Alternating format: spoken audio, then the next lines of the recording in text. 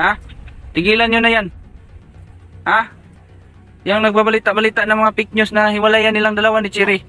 Ha? Tigilan nyo na yan. Hmm? Hmm? Hmm? Hmm? Kamars, samahan nyo ako mga kamars. Kasi nagtampo ako mga kamars, no? Sa mga hindi nakakaalam dyan, nagtampo ako. No? Nagagalit ako dahil sa ano. Nagagalit ako.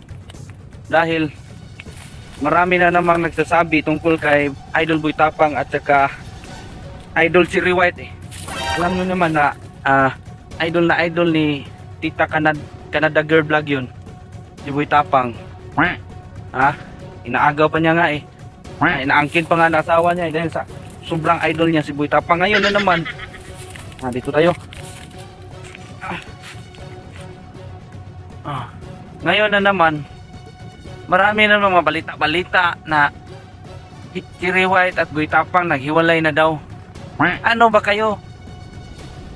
Inuunahan nyo na sila. Wala namang sinasabi si Boy Tapang na ganun. Sa kung, kung nakita nyo yung huling video nila ni Cherry White, eh, grabe pa nga yung laplapan nila nun. No? Grabe pa Sana kiss na all. kiss ni Boy Tapang bago umalis si Cherry White dun sa, ano, sa airport. Sana all. No? Nandito tayo ngayon para wala makakita. Oh. Diretso na rin dito, pupo na. Pupo. Pwede kayo mapupo dito mga kamars. Oh, yan oh. Maraming magpupo dito. Yan. Wala naman silang sinasabing ano eh. Nagigigil kasi ako marami ng balita-balita, mga nagblog-vlog na Cherry White, ginagamit lang si Boy Tapang. Nakakainis. No? Maraming gumagawa ng ano, mga fake news. No? Pero pang nagsasabi nun, naging sad boy daw ngayon si Boy Tapang. Dahil iniwan ni Chiri. Ginagamit lang daw.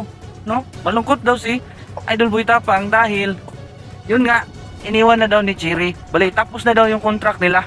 Wala namang sinasabi si Boy Tapang na gano'n ah. Wala pa namang, ha? Tsaka, si, si Idol Boy Tapang, nag-enjoy ngayon sa Thailand. No? Nakikita ko yung bagong video niya, nakik nakakilala pa siya, nga- nakakita pa siya ng babaeng ano, showbiz eh. Half British at half Pilipina. Ano ba kayo?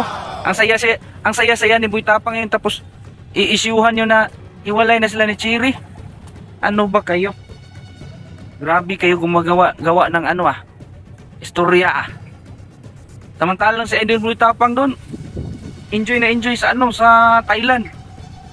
Oh. Tapos sasabihin ng iba, ano, malungkot daw si Boy ngayon. Oh no! Ha? Tigilan nyo yung mga fake news na yan kay kung hindi nyo tigilan yan, ako nang papatulpo ko kayo.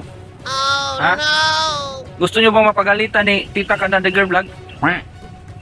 Ngayon, yung gumagawa-gawa ng mga fake news tungkol kay Idol Boy Tapang at, saka Cherry White, ah, isumbong ko kayo kay Tita Tita Canada Girl Vlog, ha? Ha? Tigilan nyo na yan. Ha? Yung nagbabalita-balita ng mga fake news na hiwalayan nilang dalawa ni Cherry. Ha? Tigilan nyo yan. Hmm? Hmm? Hmm? Hmm?